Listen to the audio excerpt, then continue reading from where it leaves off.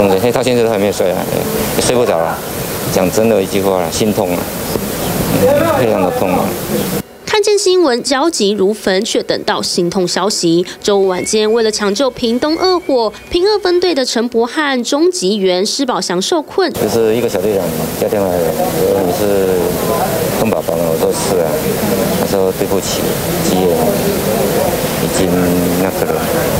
钟警员父母妻女来到殡仪馆，母亲及妻子掩面不停痛哭。钟爸爸说，儿子毕业后就考到消防，是从小的梦想。因为退休的消防员舅舅自己也热爱这份工作，脸书上则时常看见他晒出宠女儿的视角。施宝祥的岳母则是忍着悲痛情绪到场，他透露，施宝祥结婚八年，育有六岁及四岁的子女，还不敢让孩子知道，怕他们无法接受。陈柏翰脸书则是时常晒出与女友的相处日常。他曾经在基隆信二分队执勤，二零一一年警专的毕业照也曝光，与同学及学长间的关系相当好。一个蛮幽默风趣的人，因为有时候变消防生活比较苦闷，那他会在闲暇之余，就是算自娱于人啊，就是会可把大家都弄得蛮开心的这样，还蛮阳光的啊，然后而且还蛮热血的，然后。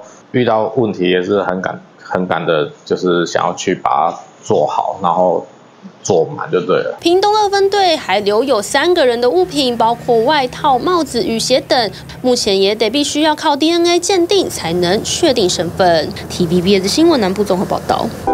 想看最完整的新闻内容，记得下载 TVBS 新闻网 APP。